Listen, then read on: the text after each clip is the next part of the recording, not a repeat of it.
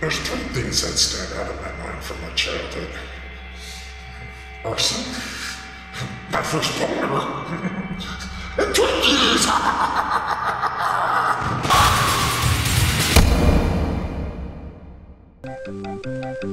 You get a big delight in every bite with wonderful Hostess cream-filled Twinkies.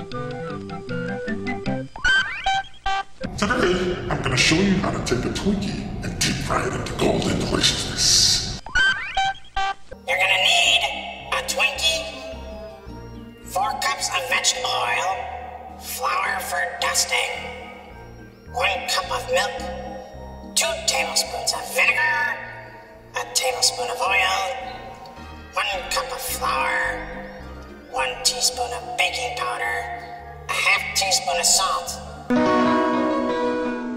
Oh, excuse me, Ricky. Ricky, I did see what you were doing. It felt good, didn't it?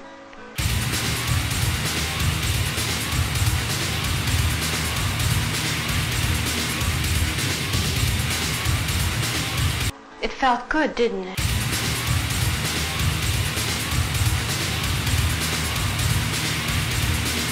It felt good, didn't it?